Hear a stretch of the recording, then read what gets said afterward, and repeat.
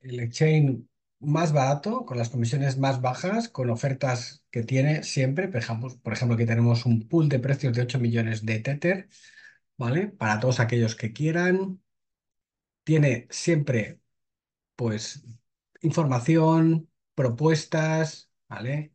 Tiene todo. Fijaos, 0.1% maker, 0.1% taker, 0% maker en futuros, 0.02 taker en futuros.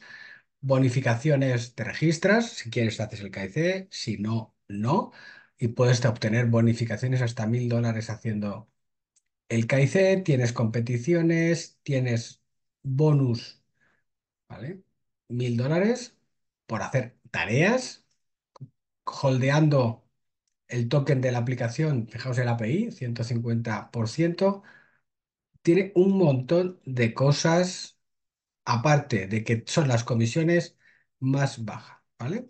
O sea, y puedes obtener recompensas por hacer trading, que es lo que a nosotros nos interesa. El mejor, el que usamos nosotros.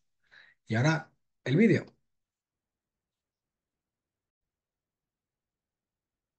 Hola a todos y bienvenidos a Educación Financiera y Criptomonedas. Tras la esperanza viene una corrección y estamos en el inicio de un año de bull run.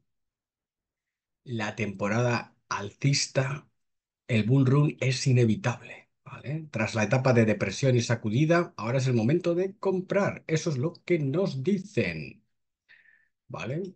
Tenemos aquí Dice, existe una alta probabilidad de que estemos en una etapa de reestructuración y muchas altcoins han vuelto a los precios de la depresión. Pues sí, es verdad. Muchas, muchas más de las que parecía. Mucha gente tiene miedo de comprar, pero en realidad el mercado está dándote una segunda oportunidad y la última para comprar. Vale. Así que aquí tenemos las oportunidades para comprar. Hay muchas métricas. Bitcoin tendrá un crecimiento del 400% desde y las altcoins solo han tenido un crecimiento del 180%. Bueno, ¿cómo, cómo tenemos esto? ¿Vale? ¿Cómo aprovechamos esta oportunidad? Es necesario comprender la psicología del mercado. Optimismo, euforia, complacencia, ansiedad, pánico, depresión. ¿Vale? Hay que conocer las emociones del miedo y la codicia, eso es cierto. Y conocer el flujo nos puede predecir, hacer predecir los movimientos del mercado. ¿Cómo usarlo?